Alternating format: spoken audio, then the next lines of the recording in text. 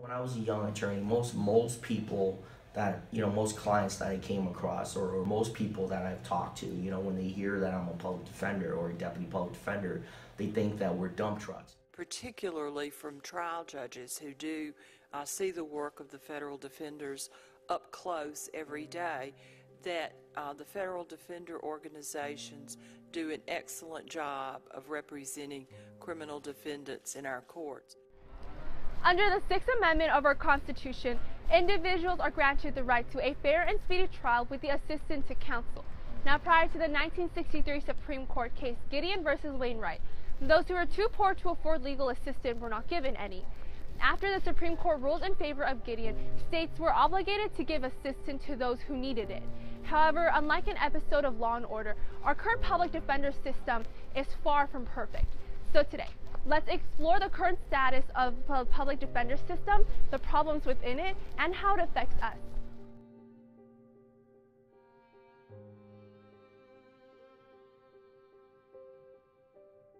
I think the notion of public defenders being overworked and not having enough time to do the work that they need to do um, is not entirely accurate. I know that our work is challenging. I mean, it's it's hard work. We enjoy the work. We're dedicated to the work.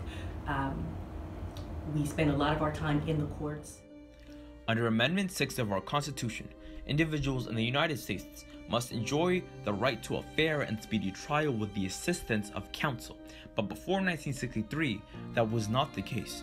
Under the landmark Supreme Court case Gideon v. Wainwright, the federal government mandated the usage of public defenders to those that could not afford one. Gideon argued that under the Sixth Amendment, the right to an attorney, the Due Process Clause of the Fifth Amendment, and the Fourteenth Amendment, no state shall deny its citizens rights, which in this case was Florida, due process and equal protection. But in the past 30 years, there has been a rising misconception about what public defenders do and the pivotal role they play in the justice system.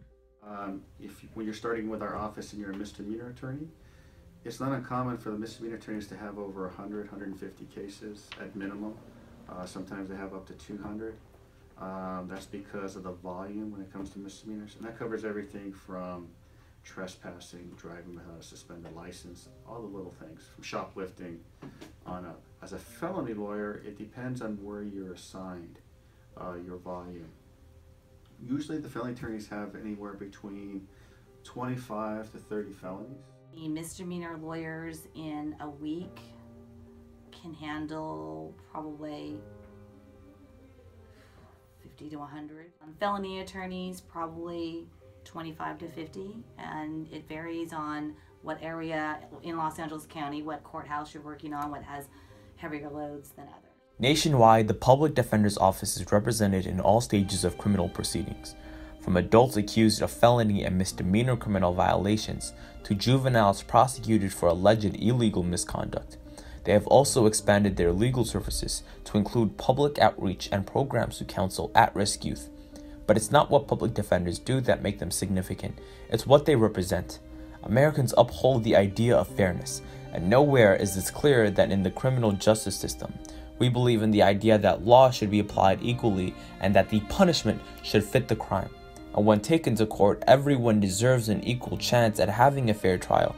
And that's what public defenders allow a fair trial due to a system of checks and balances on the criminal justice system. It guarantees that no agency, whether that be the district attorney's office or the police department, is allowed to operate unchallenged and unquestioned. Uh, we don't provide anywhere near enough lawyers to uh, to cope with the rising number of individuals who are entitled to lawyers. 2.7. 2.7 is the percentage of federal criminal defendants who go to trial. Since the 1963 Supreme Court decision, America's prison population has grown more than tenfold from 217,000 inmates to 2.3 million, largely due to decades of the war on drugs and tough on crime policies. And it's been nearly impossible for public defense systems to keep pace. In 1973, the National Advisory Council issued a report recommending annual caseload maximums for public defenders. They are the only national recommendations of their kind, but are considered imperfect. And even so, these recommended caseload limits are consistently exceeded in public defenders' day to day practice. On average, a public defender would need 3,035 work hours, a year and a half, to do a year's worth of work. In 2008, for every dollar that was spent on public defense, taxpayers spent nearly $14 on corrections. Public defender systems are also separated by their locality. A large reason as to why there is a difference in quality between public defenders is because of the location. A public attorney in New Orleans does not have the same amount of time to prepare as someone in Los Angeles. And a large reason for this is because of when the public attorney system was built and how much funding that attorney system has. Absolutely. So, and it, it's very important to understand that that $1 billion, although it sounds like a lot of money, is literally a drop in the bucket of the entire federal budget. It, the, the entire judiciary, which is what we're a part of, the third branch of government, is 0.2 of 1% of the entire budget. And that's a total budget of about $7 billion. Indigent defense accounts for right around a billion dollars of that amount. So this is an infinitesimal amount. If you go to other states like Georgia, they just opened up the first public defender agency in 2003 2004.